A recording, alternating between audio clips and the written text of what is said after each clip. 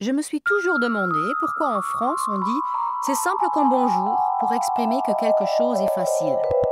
Simple comme bonjour? Mais il n'y a rien de plus compliqué que de se dire bonjour en France. Surtout pour un étranger. Car les Français ne se disent pas juste salut ou ne se contentent pas de se serrer la main comme les Allemands. Ils se font la bise. Et faire la bise, c'est tout un art. Celui qui ne l'a pas appris dès le plus jeune âge, comme les petits Français, Allez, fais une bise à tata Géraldine, a souvent l'air maladroit. Un peu raide, l'étranger se penche en avant, lèvres pointues et bras ballants, n'osant pas toucher l'autre, ne sachant pas par quel côté commencer, incertain s'il faut poser les lèvres ou faire comme si on embrassait l'air. Ne riez pas, les pauvres élèves allemands en échange scolaire connaissent tous ce terrible moment de gêne quand ils se trouvent face à leur famille d'accueil et que tout le monde n'a qu'une idée en tête, leur faire la bise.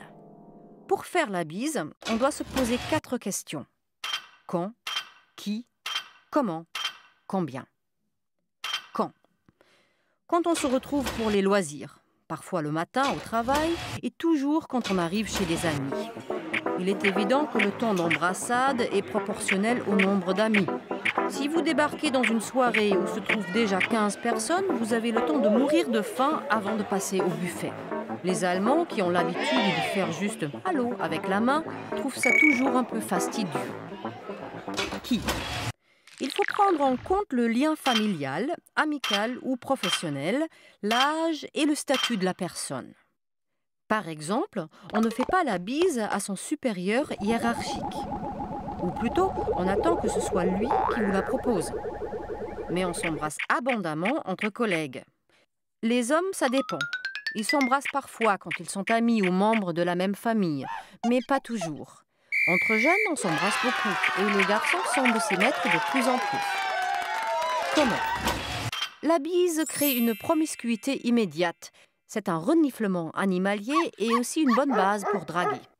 L'intensité, la durée et la conviction qu'on met dedans sont donc variables et il faut se confier à son feeling. Si on ne connaît pas bien la personne, il est conseillé d'agir avec retenue. Combien? Ah, nous voilà arrivés au problème du nombre. Les Parisiens en font deux, les Montpelliérains trois. À la Turballe, on en fait quatre, dans le Gard c'est trois, et ainsi de suite. Quand on ne sait pas d'où vient une personne, on peut facilement vivre un moment de flottement déstabilisant car il est très désagréable de tenter une troisième bise quand la personne visée se détourne déjà, ou de s'arrêter après deux bises quand l'autre meurt d'envie de vous en faire quatre. Mais j'ai remarqué que même les Français ne savent pas avec précision combien de bises on fait selon les régions. On me dit qu'à Strasbourg c'est deux, puis trois, puis deux.